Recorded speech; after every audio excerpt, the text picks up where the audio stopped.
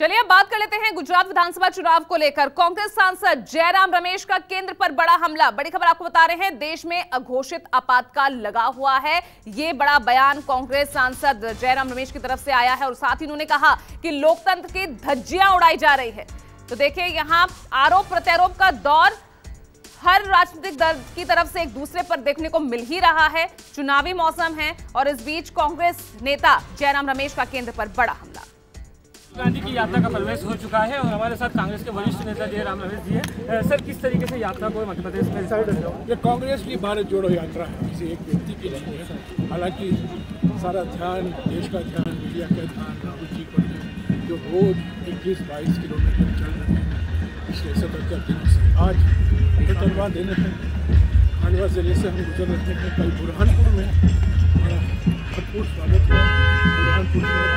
की ओर से और आज भी सुबह से सुबह साढ़े छः से हम चल रहे हैं खंडवा में यहाँ भी कांग्रेस का तबका कांग्रेस आम जनता आई हुई है वर्ग। अलग अलग समाज के अलग वर्ग आए हुए हैं।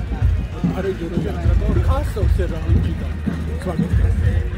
किस तरीके का संदेश दिया जा रहा है यात्रा में? है कितनी आवश्यकता कितनी ज़रूरत की है यात्रा की?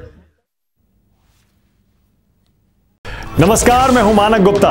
अगर आपको हमारा ये वीडियो पसंद आया हो तो इसे लाइक और शेयर ज़रूर करें। और हाँ हमें सब्सक्राइब और फॉलो करना ना भूलें, ताकि आप देश और दुनिया की कोई खबर मिस ना करें। तो जुड़े रहिए हमारे साथ और देखते रहिए न्यूज़ 24